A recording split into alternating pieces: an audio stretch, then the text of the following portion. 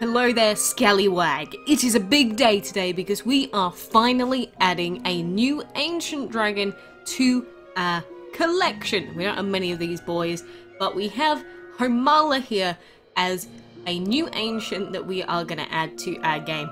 A very, very cool looking egg with coral just growing out of it.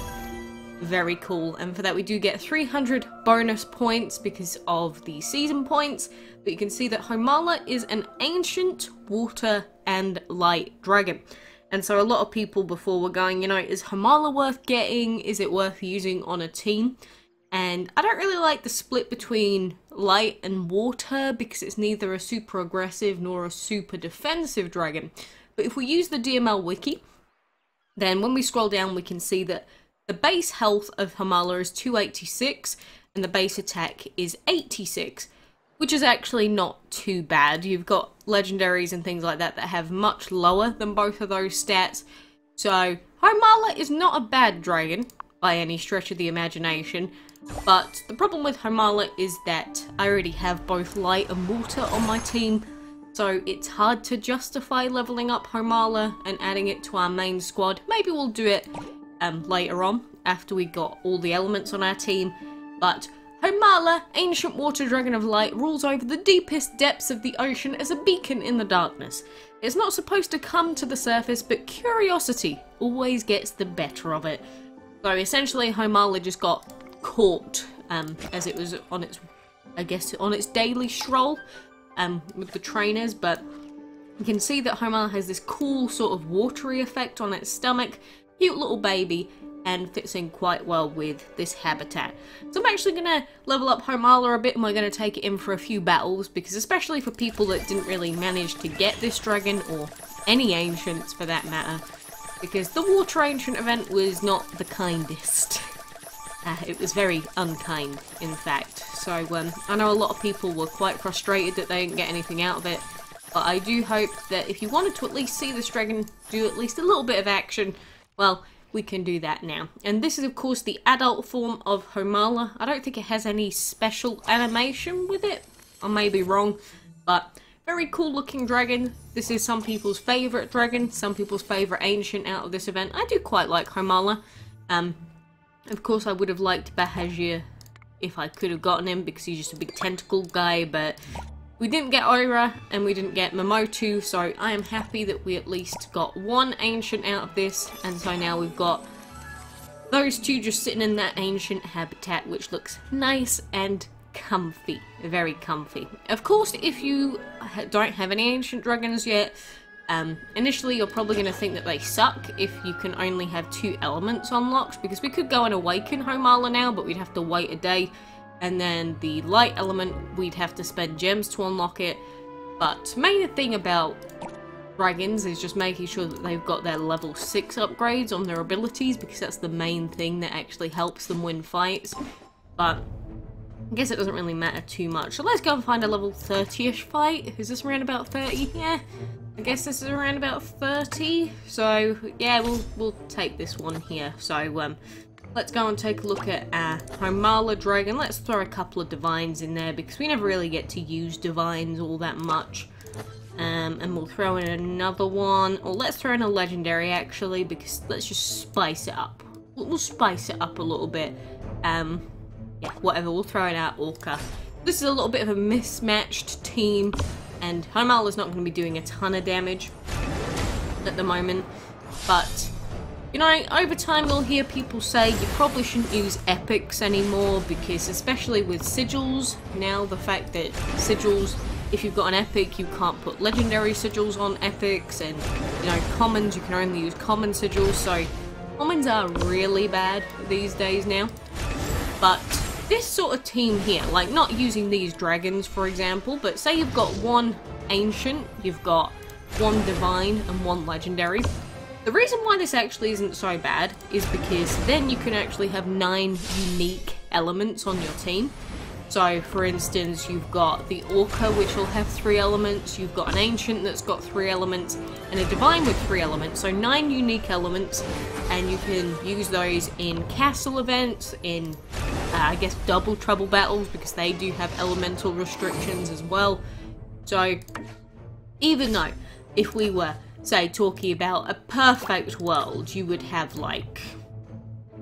Well, I guess you, you would just have three ancients, but if they're the only three dragons that you have, it's actually better, in some senses, to just use lesser powerful divines and legendaries in the other two slots.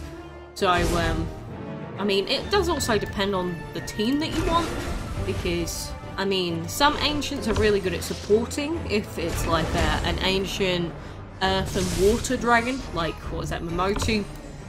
That's really good at support.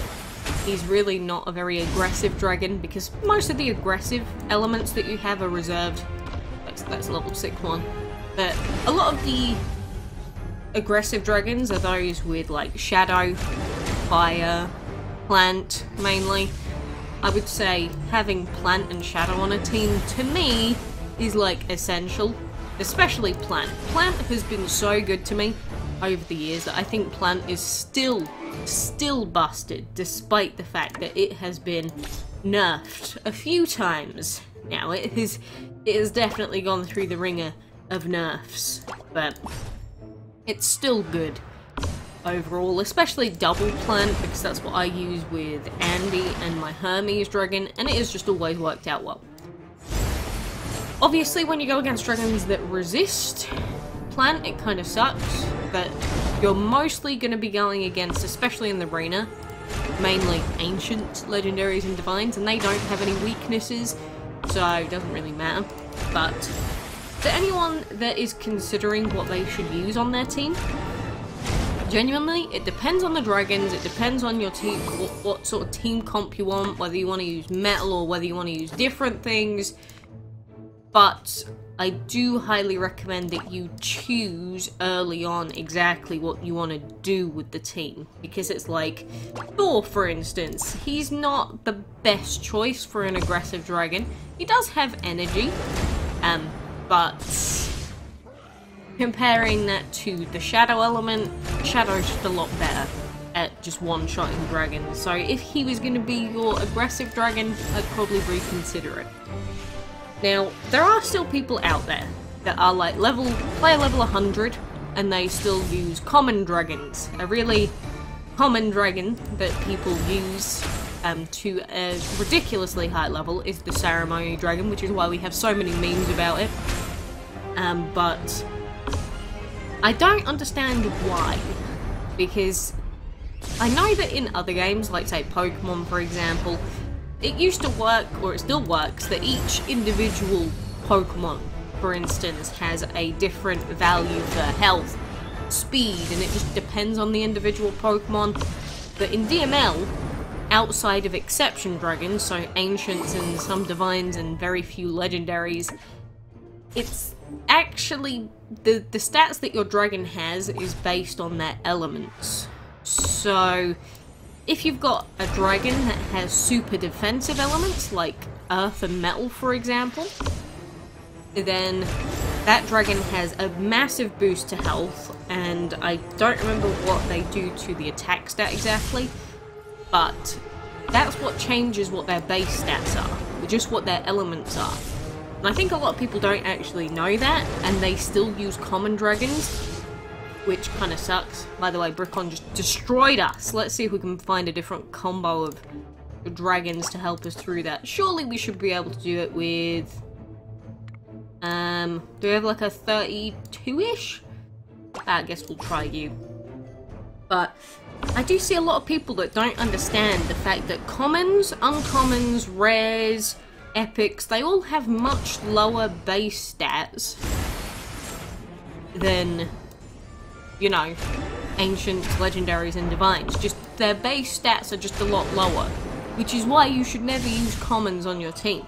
And not just that, again, sigils make commons useless, and along with that, just in general, you'll only have two elements, or in some cases, people just use fire dragons and they only have one element, which is even worse. Whereas if you're using epics or above, you're obviously going to get three elements which you can use on your team instead. So, I would say to anyone that is still using commons, regardless of your player level, you need to stop doing it. If you're using rares, you should probably stop doing it. Yes, I get it. They're easier to enchant because if we go into enchantment here and we pick out a common dragon, for example, Sally. To upgrade Sally to enchantment level 4, look at how easy that is to enchant Sally to enchantment level 4. All it requires is some low grade um, plant and some relatively low grade shadow. Super easy to enchant that. Whereas if we pick level 4 enchantment for uh, Erlang Shen, we need three of these and they're all excellent grades. So I think the reason a lot of people do it is because they see that to enchant them it's gonna take so many more resources and they go, well, I might as well just use a common for ages. But then they get screwed over during the castle events and it's not cool when you're sitting there and you're trying to do a castle event. I should not have clicked on that clan quest, damn it. But when you're trying to, you know, do an event and you just get completely held back because you don't have the elements that you need. And it's like, you could have just been using an epic instead of a common dragon and you would have been able to do that castle event a lot easier.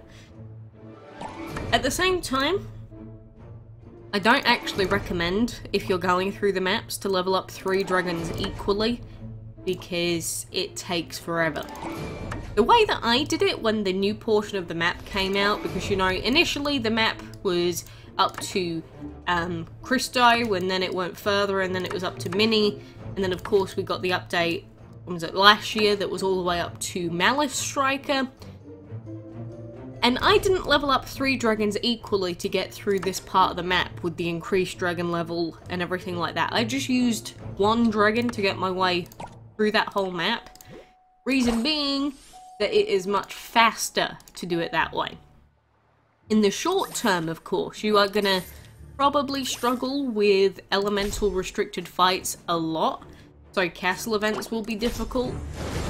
But if you just power level a single dragon from 80 to level 100, like I did with Andy here, who has always been my god, my saviour, by the way, except for ceremony, our god of course, but Andy on his own, before sigils were out, now it's super easy to clear the map with one dragon. But Andy on his own, he went through, he cleared the whole map, and then we had enough food to level up a second dragon to level 100 because of the extra that we were earning within, I think it was a couple of weeks, in which case that meant that we already had two dragons that were level 100, and then we were just working on our third, which was going to be whatever the other one was. I don't remember the order. Was it Andy and then... Yeah, it was Andy and then our Hermes dragon and then it was Saini is the order that, that I did it which meant I didn't actually have that many unique elements, but it did mean that we had maxed out dragons. And there are downsides, actually, to having fully maxed dragons, but the amount of resources that you earn extra every day, so from doing side quest map, map battles, so blue map fights, and just the amount that you earn from battles in general, is a lot higher. It does also mean that after that you can go and clear heroic mode, and then you're gonna basically quadruple the amount of resources that you have after you've done both maps. So, I know that there's always this discussion and this, I guess, questioning between which method is better. Is it better to just level up a team evenly all the way up to 100 or just level up a solo dragon and take the short-term hit? That is by far the fastest strategy and it's not even close. It is much, much faster. I'm thinking maybe I should upload a full video on this one day because there is so much misinformation that people sort of throw out there. But I don't know, it's just I find it difficult to tell people to level up three dragons evenly just for events. Even though if you're logging in for every reset, you should be able to finish castle events even with just one or two dragons. Because I did it for a good while. And I know that they've been making events more difficult. But I guess I'm hopeful that they're gonna stop doing that. Which is not usually the way that I play, but, you know, at the same time, it's just, if you want to get more value out of the game and you want to progress quicker, it is better to just level up one dragon solo, finish the map, and then you'll have a second level 100 within probably a couple of weeks. Now, there is a lot of nuance to that, and like I said, there's downsides to doing it either way around. There's a lot of good reasons to level up three dragons or more. For example, you've got the dungeon, where having lots and lots of higher level or the same level dragons is really good for that. But then some people don't even play the dungeon. So you gotta take everything to account into in terms of how you play the game as a player. But for me, just wanting to finish off more things faster and get more things unlocked and get more food, that was the most important thing to me. So that's why just blazing through that map is most important. Honestly, now you can fully blaze through the map with one level 100 dragon not even fully enchanted because of how overpowered sigils are. And even though not everyone likes sigils, I think sigils were great for people that were trying to clear the map. So, despite how much I may dislike sigils for one reason or another, I think they'll always be a good addition because of what they allow on the map. But, I don't know why I went on such a long tangent today in terms of how to level up teams quicker, because that is essentially what it comes down to, and I have this conversation all the time. And every single time, it's like people have never really understood why people just level up one dragon, because they're like, oh, it doesn't make sense, you won't be able to do events. But again, if you're going to have a second level 100, not just one, but you'll have two dragons at level 100 within a couple of weeks because you got to think about doing all of these fights and getting all of this bonus food and then you got the farms going at the same time. You might have events going on that give you bonus food.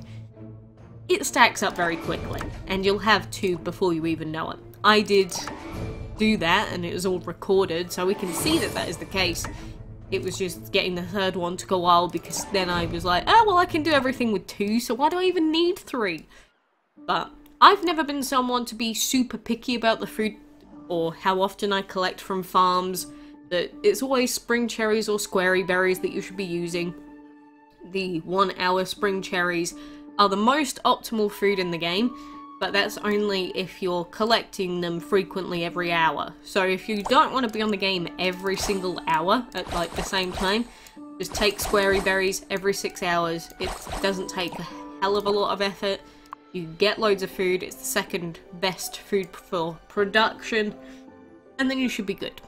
As long as you're planting those, doing your daily side quest battles, I mean it's easier for me, obviously, because I've got high VIP, so I can just instant win 40 fights a day and then I can also use all of my energy to do the other fights that are up on the map but these blue side quest battles are by far your best friend if you're trying to get lots of gold and get lots of food. It's like I never run out of gold, ever. It's like I'll go over to the Dragon Vault sometimes and I'll just go, boom, here's another vault slot because I have nothing to do with the amount of food that I have. I mean the amount of gold that I have.